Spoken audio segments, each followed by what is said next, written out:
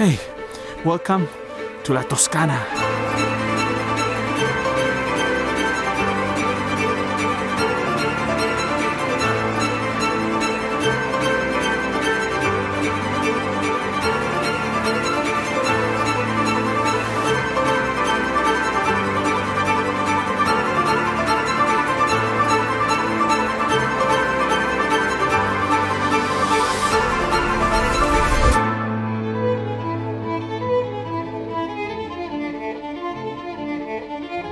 We've been in Italy for a week. What do you think about the food? I think it's very, very delicious. So Kristina being Lithuanian, you know, in Lithuania, sandwich is not such a big thing. Probably these days it changed a lot. But when you come here to Firenze, for example, sandwich is everywhere. Yeah, and we just had like almost half a meter sandwich combined. Ice cream is incredibly popular. So for me, heavy flavors, it's a bit hard. For example, you prefer chocolate, Everything. yeah. In that order. To me, it's kind of dessert, like a proper dessert. For me, ice cream is to enjoy with something more light. So that's the reason you try avocado ice cream. I try avocado because I had to try something new. One time experience. Good. Uh, it's just delicious. Gelato is so good, mi piace tantissimo. We're in Michelangelo now, it's like a very popular square, and we're gonna try to do the time lapse.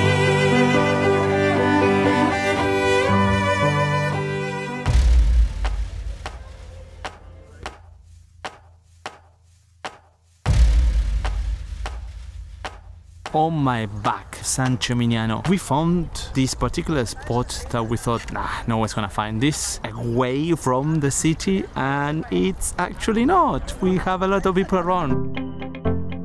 One important tip if you come to San Gimignano, it's absolutely stunning, so you should definitely come, but you need to know this is packed. Most of the tourists they do day trip, they come at 11, they leave at 5 p.m. If you want to enjoy the city, wake up early or wait till the sunset comes, and that's gonna be your best chance. In the meantime, you might think you found key spots, secret spots, but somebody will come at some point, and this is just happening to us. We came here to do a time lapse to fly the drone, so you can see the whole city from the sky.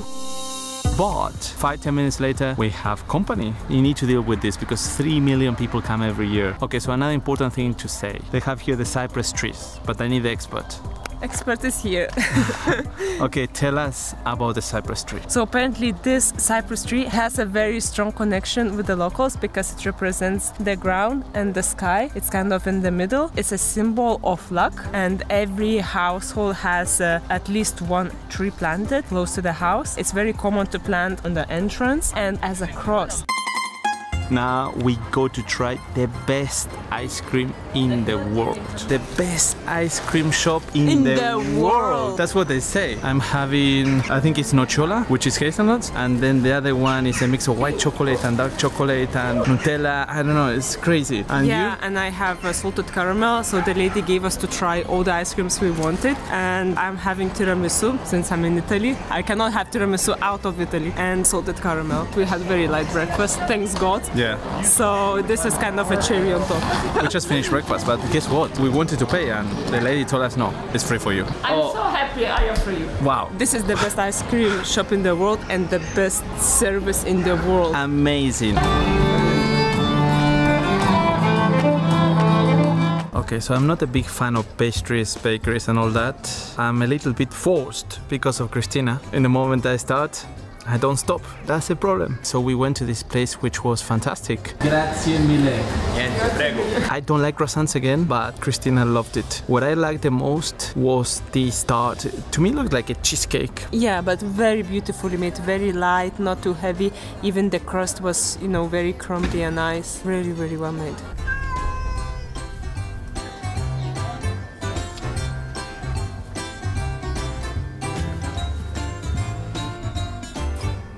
Think you will have another gelato now. Okay, if you insist. This is the other best ice cream in the world. They won the Gelato World Champion competition a few times. The problem with this one is we came too late. You need at least 15 minutes to queue up, but we're gonna try one more time. Gelato, probably the last one in Tuscany.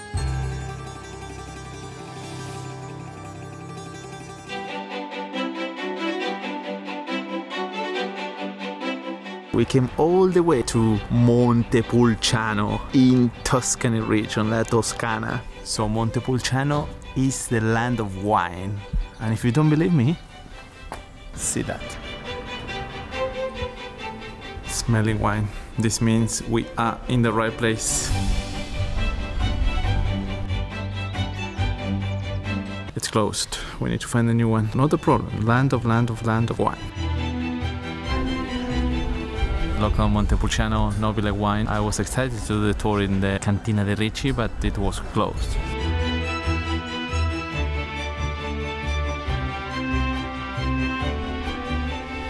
I like everyone, so for me it's very difficult to say which one is better. Alright, we're in Pienza right now, five minutes away from the old town. We made a quick stop here. Behind me, we have one of the gladiator locations. How's the wine in this region? I can only say incredibly tasty everywhere I try in Tuscany so far. But the most important thing, the scenery here, the landscape. Wow! So our star guide, Luca, he's from this region in Tuscany and he was telling us I never eat pork or any type of poultry in a restaurant because I don't know what they do with them. And I grew up growing these animals. As you can see in this region, a lot of people living here. Their own business is wine, growing animals, eating their own food, vegetables, everything. That's what they do. That's why they live longer. Alright, so this is the town of Pecorino cheese. Can't believe how many shops they have Pecorino cheese here. Invejizado dos meses Ah. y afuera es rojo porque Ponen el color de tomate. exactamente. Cuatro meses. ¿Prueben este? Más intenso probablemente. Sí. Probar este. Oh, pecorino Oh, trufado. Dios. This is super interesting. We have Cristina and our friend Paula speaking Spanish. Practicing my mother tongue. Italian, Lithuanian, speaking Spanish. Paula, ¿dónde pueden encontrarte? Se llama Taberna del Pecorino. Gracias. What's interesting for me is that you guys were practicing Spanish, Italian, Romanian, Lithuanian, speaking my mother tongue, and perfectly actually. Yeah, And you you know, were- she's- I, I, I cannot believe she learned just from the telenovelas. ¿Dónde aprendiste español? Yo soy de, de Rumania y cuando estuve pequeña mi hermana se miraba las telenovelas. All telenovelas from the 90s or early 2000s with Natalia Oreiro, and that's it. That's how they learn. Yeah, but the trick is we hear both Spanish and our language, so you don't kind of silent the original one. That's the difference, and that helps a lot. I think somebody wants to buy everything here. It is from Mother Italia. I was really debating what to buy, but I went for a small one. But the smell, it's undescribable. It's amazing. Now we are in another spot for the Gladiator movie. There's so many different spots here. I honestly don't recognize most of them.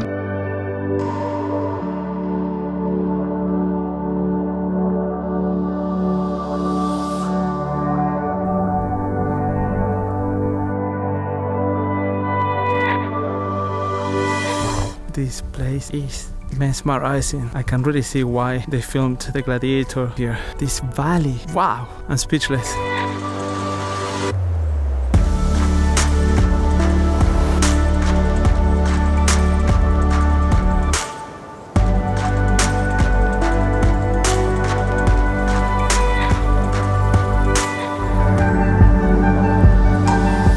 Much for watching, and as always, see you next week.